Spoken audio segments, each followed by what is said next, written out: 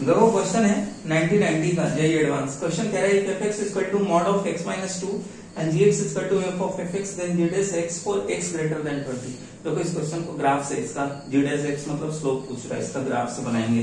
देखो जी जी equal to कितना कह रहा है एफ़ ऑफ़ एक्स कह रहा है। G of X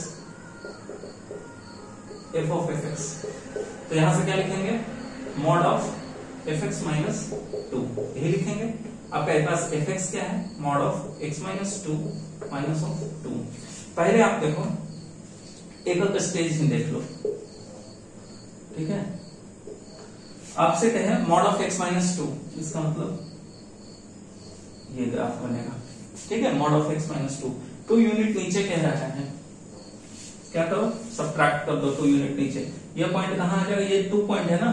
करोगे तो ऑरिजिन पे आ जाएगा। और ये नीचे आ जाएगा ऐसे। ठीक है? ये हो जाएगा आपके पास।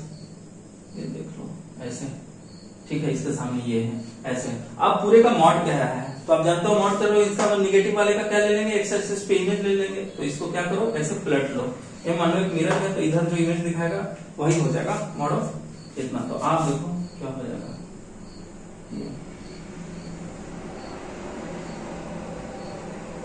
आपके पास ग्राफ बन गया। किसका जी ऑफ़ जी एक्स का अब आपसे पूछ रहा है G X greater X greater than twenty.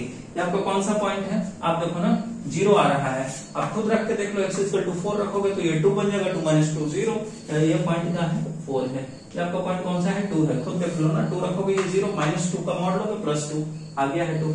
अगर यही मॉड नहीं लेते तो माइनस टू, आपको बता रहा है ये। ये देखो, ये ऑरिजिन है। ऐसे भी ऑरिजिन पे रख के देखो, टू बनेगा, टू माइनस टू ज़ीरो हो जाएगा। तो ठीक है, ये आपका ग्रेटर देन ट्वेंटी कह रहा है, इसका मतलब यहाँ ट्वेंटी कहीं होगा। ये स्लोप आपका क्या होगा? वन होगा, ठीक है?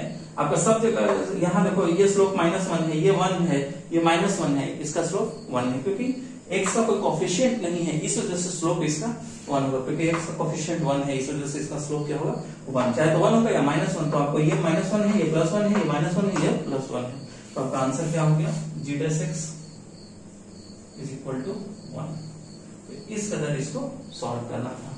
ग्राफ ऑफ़ एनालिसिस करके इस कदर तुरंत सॉल्यूशन पे जंप कर जाते हैं।